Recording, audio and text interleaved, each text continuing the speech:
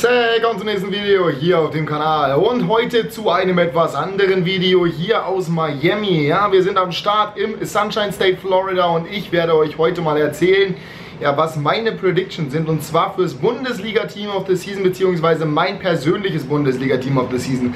Ist kein normaler Vlog, muss man dazu sagen. Im Hintergrund haben wir Geräusche, einmal die Klimaanlage und irgendeine Poolanlage da draußen. Ich hoffe aber, es geht trotzdem einigermaßen. Ich verstehe auch noch nicht ganz, wie das mit dem Licht hier so ist, aber ich hoffe, das geht einigermaßen. So lange soll es auch nicht werden. Ich möchte einfach kurz mein Team mal sagen. Normalerweise habe ich es ja immer mit Karten gemacht, die Team of the Season Predictions, aber heute wird es halt anders. Heute wird es halt nur in Form dieser quasi Top 11 der Bundesliga von mir sein. Ich werde auch auch nicht. Kompletten 18 Spieler oder wie, auch, wie viele auch immer Team of the Season kommen predikten, sondern nur meine Top 11 und wenn da irgendwelche strittigen Positionen dabei sind, wie beispielsweise Stürmerpositionen, wo es vier geben wird, wahrscheinlich wieder, werde ich natürlich dazu was sagen. Ich werde das zu allen fünf Top-Ligen machen, macht euch da gar keinen Kopf drum. Ja, wenn eure Lieblingsliga, wenn das die Bundesliga sein sollte, noch nicht dabei ist. Und auch wenn eure Lieblingsspieler nicht dabei sind, macht euch keinen Kopf. Vielleicht ist das so, ja, aber ihr habt eine individuelle Meinung und ich habe eine individuelle Meinung. Und ballert mir gerne eure in die Kommentare, ja. Haut rein, wenn ihr meint, nee, der Spieler sollte eher als der Spieler drin sein. Haut rein, wenn ihr meint, nee, ganz andere Formation, ganz andere äh, Art von Spieler. Ich mache 4-4-2 jedes Mal. Kann sein, dass ihr sagt, nee, 4-3-3 oder so sowas. Ist ja auch mit 343, geht ja alles.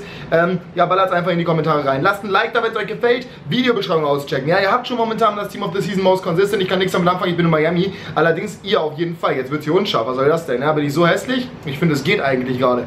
Ähm, ja, IG World 6% Rabatt auf eure FIFA, äh, FIFA Coins, Points, PS an gut haben. Das heißt, alles, was ihr fürs Team of the Season braucht, um euch zu versorgen und einzudecken, könnt ihr da bekommen. 6% günstiger mit dem Code Gaming TV. Lohnt sich auf jeden Fall. Unterstützt mich damit. Schaut da mal vorbei. Ich würde mich darüber freuen. Merchandise und Social Media Links haben wir auch in der Videobeschreibung.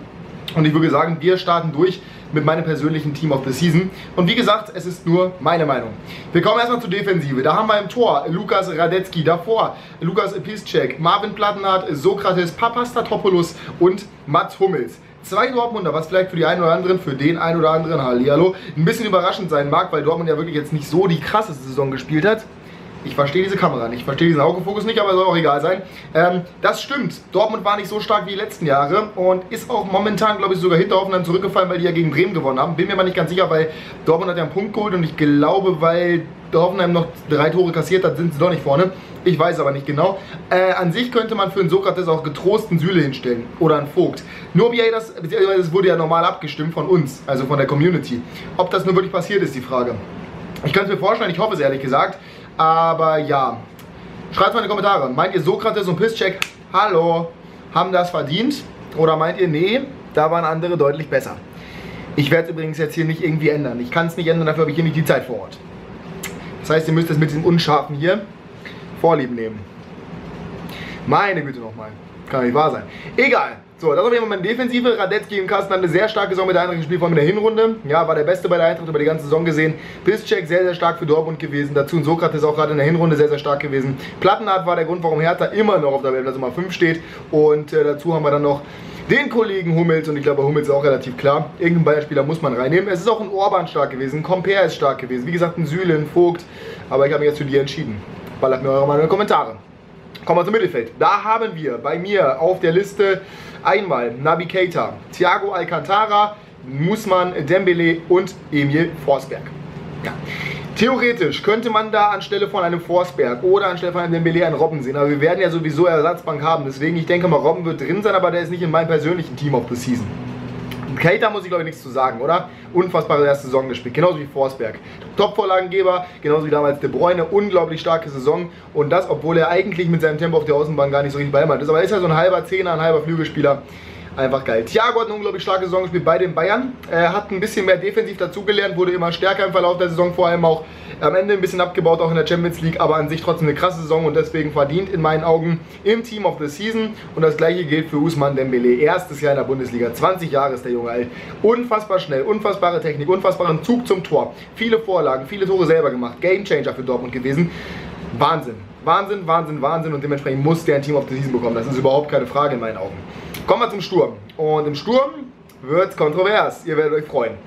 Natürlich sind die offensichtlichen Wahlen Lewandowski und Aubameyang. Ich mag Aubameyang aber nicht. Ich mag den wirklich nicht. Für mich ist das ein Tap-In-Stürmer. Für mich ist er nicht auf dem Level von einem Lewandowski und ich glaube auch nicht, dass er bei Real Madrid so performen würde, wie er es bei Dortmund tut, wo er mit Reus und äh, Dembele einfach unglaublich gute Vorlage gemacht hat. Er bei Real auch, klar. Aber schreibt eure Meinung in die Kommentare. Ist Aubameyang so gut, wie er gemacht wird oder ist Aubameyang überbewertet? weil ich persönlich finde, gerade weil er so viele Chancen liegen lässt, besser als ein Cavani ist nicht. Wirklich nicht. Und Cavani ist gut, keine Frage, aber. Also sehr gut, keine Frage, aber. Aubameyang wird immer mehr gehypt und das kann ich nicht ganz nachvollziehen. Ich habe in meinem Sturm Timo Werner. Buh, Max, wie kannst du nur? Scheiß RB, du hast drei RB-Spieler in der Startelf. Wie geht das? Timo Werner hat 21 Tore. Für einen Aufsteiger. Dabei den zweiten. Viele Vorlagen gemacht. Unglaublich gut gespielt. Scheiß auf diese eine Schwalbe. Es war eine Schwalbe, verdammt. Eine. Das, das macht Kohl auch nicht fett. Das ist wirklich. Und der hat so stark gespielt und der muss ins Team of the Season. Das gibt gar keine Diskussion. Die vier Stürmer. Und das ist die Position, wie gesagt, wo ich so ein bisschen differenzieren muss, weil ich nicht nur elf Spieler benennen kann, weil ich da halt einfach vier nennen muss. Die vier Stürmer, die ins Team of the Season rein müssen, sind Robert Lewandowski, Pierre-Emerick Aubameyang, Anthony Modest und Timo Werner.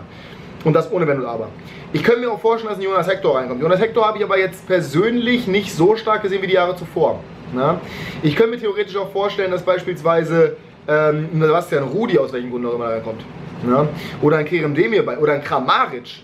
Auch extrem starke Saison gespielt. Hätte es auch verdient an sich. Aber da hast du halt noch einen Modest, der so viele Tore gemacht hat. Einen Werner, der so viele Tore gemacht hat. Und auch wenn Hoffenheim gut dasteht, Sie haben ja beispielsweise mit Vogt oder Süle sowieso in einem Team of the Season. Und auch im Mittelfeld war jetzt keiner von den Spielern, die ich genannt habe von Hoffenheim, aber da muss einer hin. Irgendwer wird da kommen. Bin ich mir sehr, sehr sicher. Also es wird nicht ein Team of the Season und Hoffenheimer geben.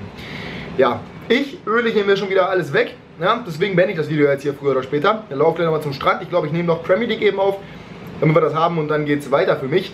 Ich hoffe, euch hat das Video gefallen. Wenn ja, lasst auf jeden Fall einen Daumen nach oben da. Schreibt euer Team of the Season bzw. euer Team einfach mal in die Videobeschreibung. Ich würde mich freuen und äh, ja, freue mich zu sehen, wen ihr denn am stärksten gesehen habt die Saison. Vielleicht mit Begründung, wenn ihr Zeit habt, wie ihr wieder Bock habt. Checkt die Links in der Beschreibung aus, vor allem IG wollt, wenn ihr euch noch eindecken wollt zum Team of the Season, gerade für die nächsten Team of the Seasons, die nicht nur aus Consistent sind, also noch höhere und krassere Ratings haben, lohnt sich das. Und wir sehen uns dann beim nächsten Mal wieder. Bis dahin wünsche ich noch einen wunderschönen Tag. Passt auf euch auf, beste Grüße aus Miami. Und ciao.